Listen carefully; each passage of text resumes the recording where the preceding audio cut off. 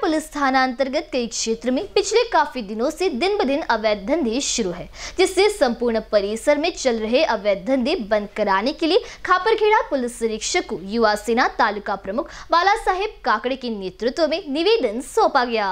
इस परिसर का कुछ भाग अति संवेदनशील क्षेत्र माना जाता है। उसी प्रकार पर प्रांतीय अपराधीकरण लोगों का अधिकांश वास्तव्य है।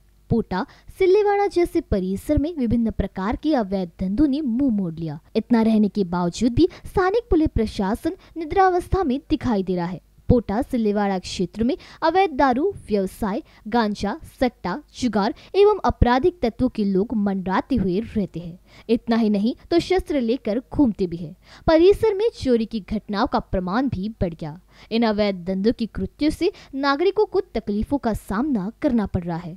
इस आशय का युवा सेना द्वारा खापरखेड़ा पुलिस को निवेदन देकर जल्द से जल्द कार्रवाई करने एवं प्रतिबंध लगाने की मांग की गई। बीसीएन न्यूज़ के लिए खापर खेड़ा से चयन चौहान की रिपोर्ट।